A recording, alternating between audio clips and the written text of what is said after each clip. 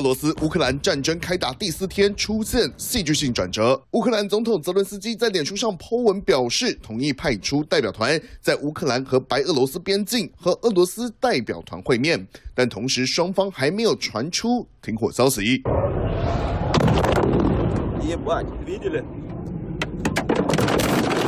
加油站遭到空袭击中。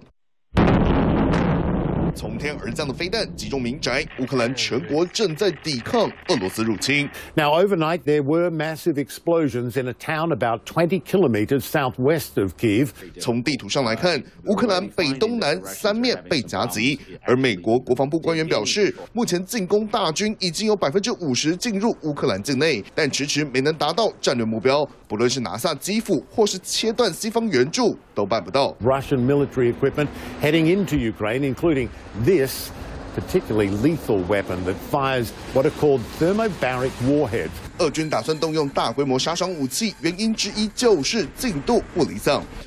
乌克兰情报部门指出，俄军进攻一天就要花费五千六百多亿台币，战争开打至今四天，也就是两兆两千亿台币蒸发，继续拖下去，俄罗斯恐怕自己就会受不了。Подразделениями российских вооруженных сил установлен полный контроль над городом Мелитополь.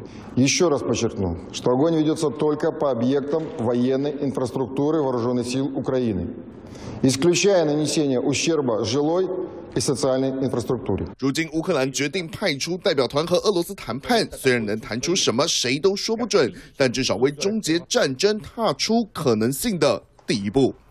三立新闻中考报道。